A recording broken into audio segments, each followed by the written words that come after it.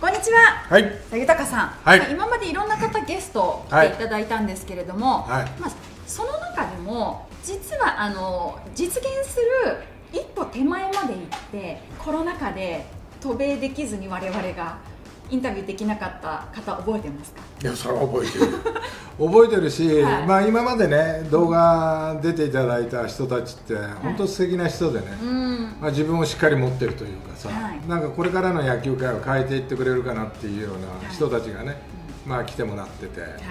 ダルには、まあ、春先に出てもらって、はい。まあ、その時に、まあ、一緒にね、あの前健、前田健太投手はい。ああの話をね、えー聞こうかなっていうふうに思ってたのが、まあ、やっとはい。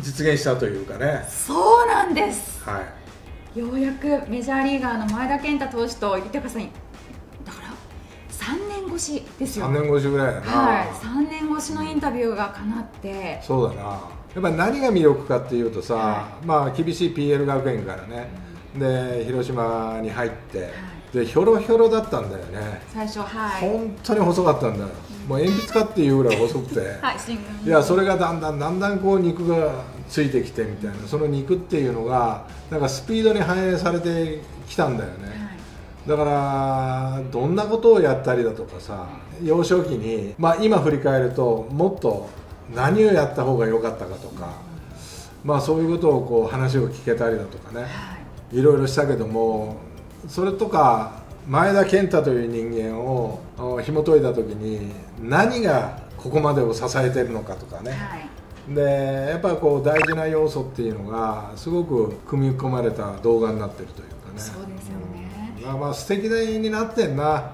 あの第一印象とか入ってきた瞬間久しぶりにお会いしたと思うんですけど。えみたいな。どこの紳士が入ってきたかみたいないやいや球場でさ、はい。あの若い頃なんかは会う時が多くてね、まあ、そのたんびに「豊さん」とか言ってうん。来てくれて「元気ですか?」みたいな、はい。すごく愛想が良くて、ん。まあ、笑顔が素敵だったんだけども、まあ、その当時からね、いやだけどどういう人に変わっていってんのかなっていうふうに、まあ、興味深かったよね。やっぱメジャーにおけるやっぱ人間形成というかさ、まあ、誰もそうだったんだけどもなんかメジャーで得たこととかやっぱ世界観が変わるとか、まあ、そういうことで人間っていうのはすごくこう変わっていくんだろうなっていうのをすごく感じさせてくれたというかさ。だからやっぱ貴重な動画にはなってるよね。うん。あとはその PL でエースとして投げていて、はい。でバッティングも良くて、はい。そこから初めてプロに入ってカープでブルペンに入った時の心境、うん。プラス広島からメジャーに行って初めてこう感じたこととか、うん。そういう節目節目のこの心情だったりあと驚きっていうのも話してくださいましたよね。まあそうだな。あとはやっぱその都度なんていうのかなこう向上心があるというかね、うん、だからそれをどう自分に反映していったのかというね、はい。まあ、そういうことも聞けたしあとはやっぱりこうダルビッシュとの日本での投げ合いでダルがね全球種を見せてくれたっていうねそういうのがすごく刺激になったりだとか。その話もしてくださいましたね。それをダルがあのブログにしてくれてなんかそういう話を聞くとやっぱこう一流同士のマウンドとバッターボックスでの会話だとかそういうのが垣間見れるしね。はい。それをやっぱこう刺激にしてん。自分が変わっていく様とかさ感じ方があるよなあのそれをやったことに対して、はい。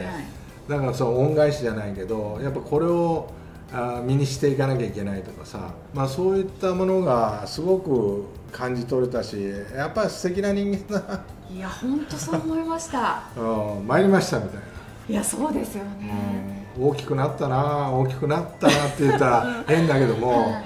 だから素晴らしい人間性も兼ね備えたプロ野球選手になったなっていうようなね、まあ、はいそんな感じがしたよね。そうですね。あと豊さんがあの DNA のコーチ時代にノーヒットノーランされた時のうん。秘話も、そうだね。ね聞けましたし、まあいやそれは本人がさ、はい。なんかいや調子良かったですみたいなさ そういうこと言われたらもう手も足も出ないというかさ、はね中畑監督との、うん。そのマイケンが投げてる時に話をしてた時とかね、はい。でもそれがきっかけで DNA が変わらなきゃいけないというふうにね、まあ悟ったというかさ、はい。教えてもらったというかすごくまあ昔を懐かしむ時もあったし、うん。まあ現代のこともあったし。でも記憶力がいいな。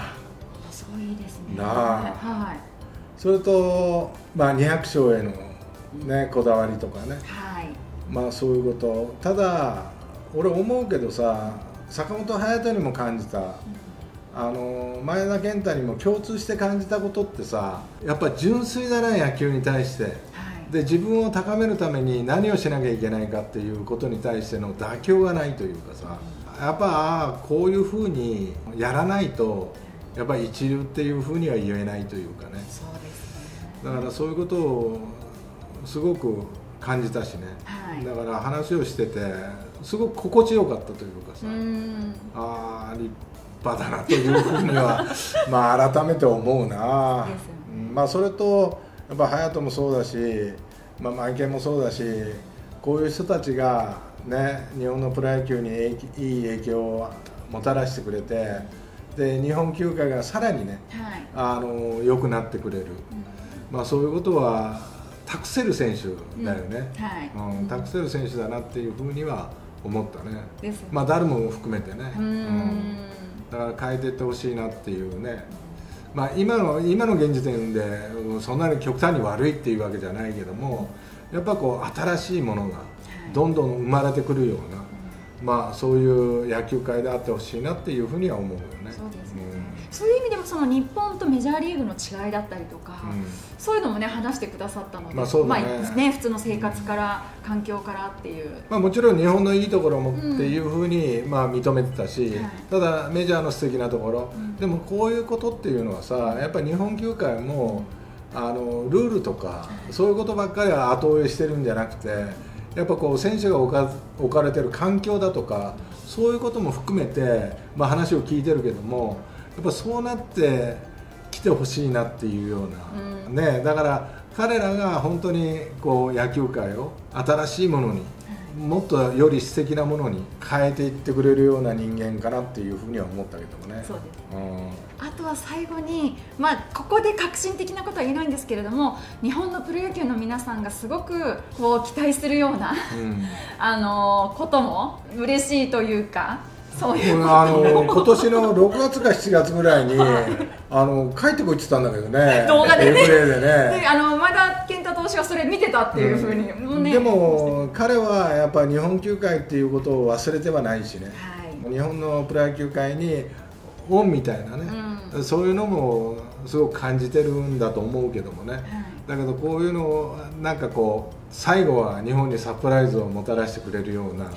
まあ、そういう話もね、うん。まあ、聞けたし、はい。だから、まあ、動画を見てねうん。ちょっとどういう感想を持つのか、はいまあ、そういうのはちょっとね知りたいけどもね。そうですよね、これはちょっとね楽しみに最後まで。話してて本当にね心地いいというかいつまでも話をしていたいというか、はい。まあ、話が途切れることなかったけど、うんやっぱ頭のいい子だな。です 本当ね。にいや本当にクレバーだと思いましたしうん。私もあのつこの撮影をあの見させて一緒にあの隣で見てたんですけれども、豊さんも興味津々に聞くし笑顔だしそれをに話す前田健太投手も笑顔だしいやなんか見ていてね本当に楽しくなるような動画でしたね。まあ笑顔が素敵だな相変わらずな。相変わらずですね。で日本あのアメリカ行っての、そのどういうふうにコミュニケーションを取っていくかとかね、うんうんうん。どういうふうに自分がこうチームとして溶け込んでいくのか、はい。まあ、そういうことも含めてね、うで今年のこう山本由伸とか今永とかね松井とか、はい。まあ、メジャーに挑戦していくわけだけども、そこへのアドバイスとかもね、はい。まあ、いろいろしてくれてたしね、うん。まあ、ぜひあの動画をね、見てもらいたいなっていうふうに思います。そうですよね、はい。もうね今年2023年を締めくくるこの高木豊 YouTube チャンネルの最後を飾るのがメジャーリーガーの、えー前田健太投手とのインタビュー対談になっているので、だから、まあ、誰もメジャーリーガはい。ーやっぱなんか一つ一回りも二回りも大きくなるというか人間的にね。はい。あの本当に素敵な一面が、あー垣間見れるね。はい。あの動画になってますので。はい。ぜひはい。見てください。はい